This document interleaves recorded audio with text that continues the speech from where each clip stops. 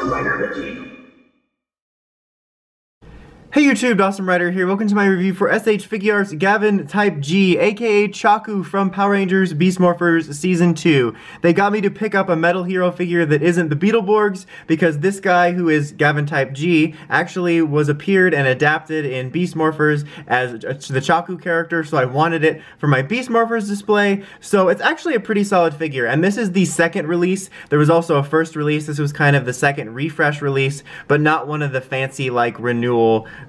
Suki from True Blood Seho figures or whatever you call them. Like it's just like the middle ground one, but it's pretty solid. So let's talk about the accessories real quick. As you can see right now he's holding just his normal sword. He's got that one. Ah, thank you. But then he's also got a couple other options. Right here you have the sort of lit up about to attack sword and then you have the full on effect part attack sword. And it's not like some of the other ones I've seen before where it's like this part and you attach it to the tip of the sword. It's actually just one full different sword. You have a couple different different hand choices. You have like closed fists, you have holding the weapon fists, some sort of general open sort of martial arts fists, uh, instant transmission hand, like you know like this, and then the one he's got on here is kind of like a karate chop, sort of like putting his hand over the blade hand. And then you do have one alternate helmet, which is pretty cool which has sort of a more lit up version of the eyes for when he does his finisher, which looks really nice. And as for the figure itself, I think it's very well done. It's a very nice figure art. It doesn't have any die-cast metal like old school figure arts, and it does feel very light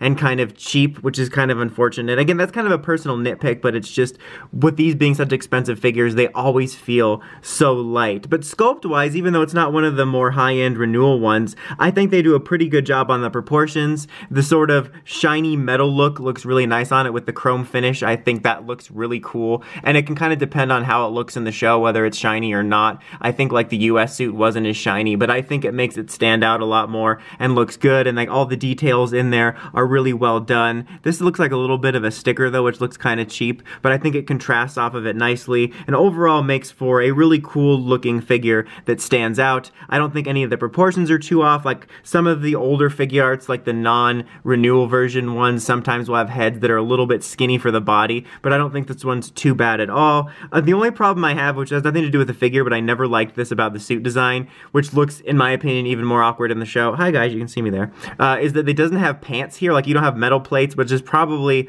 something to do with the function, but it looks like he forgot to put his pants on, so that's always been kind of awkward to me.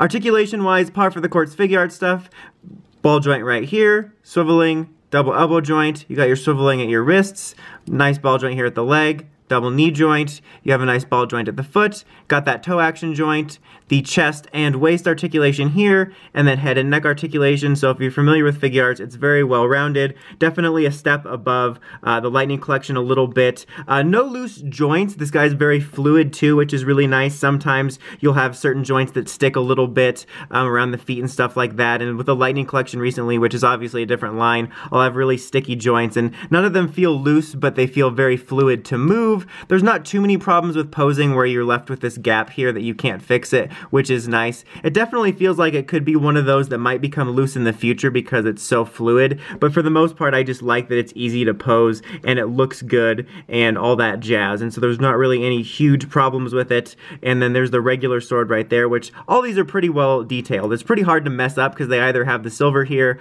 or the light blue for the attack version, and then like the gold here with the details, and it looks pretty solid there. So it's overall pretty cool, and I like the accessories and the ability to have the effect part and all that stuff. It pretty much comes with exactly what you would want for it, and you're not really wanting for anything, which is nice. And I think it's overall a very nice figure. It's not a figure art I'm like jumping out of my seat over, like, oh my god, you have to have it. It doesn't feel like as one of those purchases of old figure arts where it feels like, oh my god, this is really high quality figure that I just spent my money on. But I think it looks really nice. Um, if you're a fan of Gavan Type G or the suit, I think you'll be happy with it. And I think if you kind of liked his character Beast Morphers and you want a figure for it, I think it'll look nice with it. Just kind of find a good price. Like that's good advice for literally anything, whether I recommend it or not, to find a good price. But I just don't feel this guy's worth too high of a price. I think I found him on Mandarake for roughly, I think it was just under 50, and I feel like that was even a little too much for me in some ways. But just find the best price possible if you want it.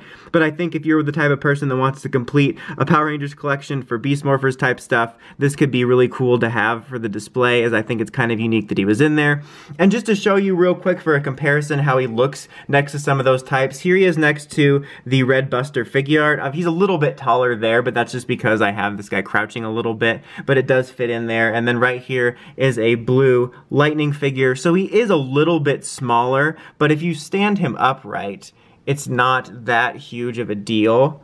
Like it fits in fairly well. Red Buster is going to be a little bit taller. The Lightning figure will be a little bit taller. But I think for the most part, so long as you have them posed right, it's not a huge deal. And so that's kind of cool just to be able to fit those in with it, like the figure arts here. And with the Lightning, I don't think it stands out all that much. But overall, that's about it for this one, guys. Until next time, like, comment, subscribe, and climb the steps and ring that bell so you get notifications from my videos. Dosm Rider, signing out.